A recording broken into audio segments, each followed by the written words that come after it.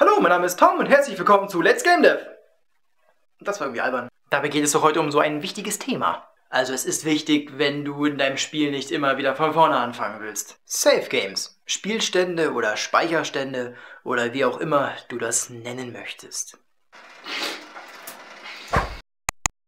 Die Sache mit den Safe Games habe ich früher einfach nicht verstehen wollen, weil ich einfach nicht verstanden habe, wie Computerprogramme aufgebaut sind und funktionieren. Ein Spiel besteht im Grunde aus Grafik, Sound und Logik. Die Grafik wird von einem Menschen gemacht, der sehr toll zeichnen und designen kann.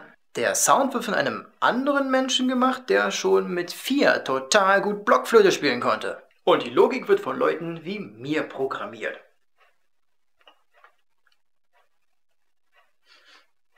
Am Ende hast du einen Ordner voller Grafiken, einen Ordner voller Sounds und so eine kleine Datei, auf der du Doppelklick machst und dann startet das Spiel. Und als ich angefangen habe, Programmieren zu lernen, dachte ich immer, in dieser Doppelklick-Datei wäre auch der Spielstand drin. Warum auch nicht? Ist ja auch irgendwie logisch. Zumindest war das das für mich früher.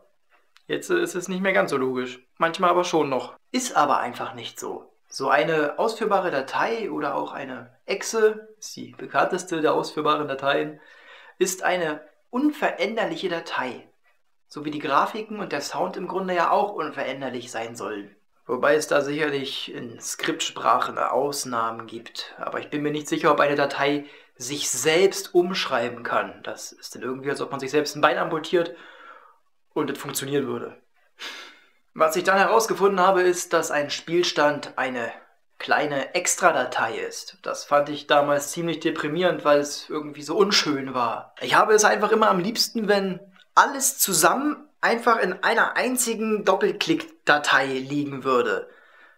Mit dem Sound und den Grafiken funktioniert das sogar, aber eben nicht mit dem Spielstand. Und damit müssen wir jetzt halt leider leben. Und das funktioniert doch eigentlich ganz gut. Denn ich kann ja meinen Spielstand, der ja ziemlich klein ist im Vergleich zum Spiel, einfach wegspeichern, wenn ich das Spiel deinstalliere, ohne ihn verlieren zu müssen. Also es ist eigentlich nur gut, dass es eine extra Datei ist.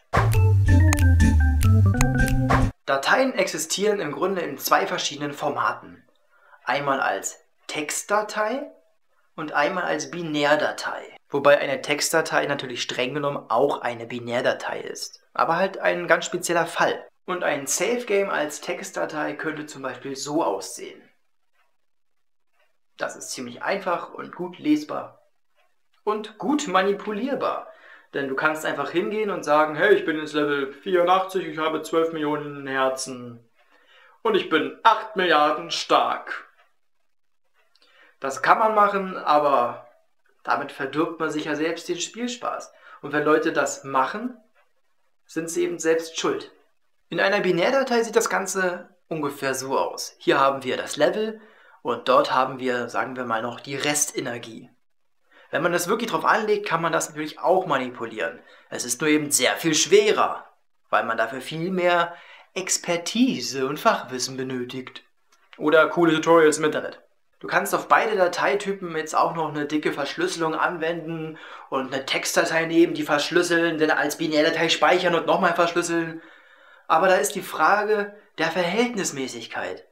Wie viel Aufwand ist überhaupt nötig. Man muss nicht mit Kanonen auf Spatzen schießen.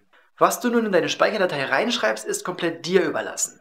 Je mehr du hineindrückst, desto genauer kannst du das Spiel von dort aus weiterspielen, wo du es beendet hast.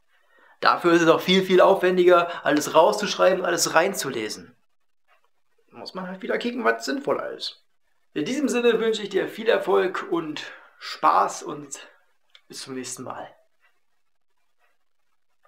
Yeah.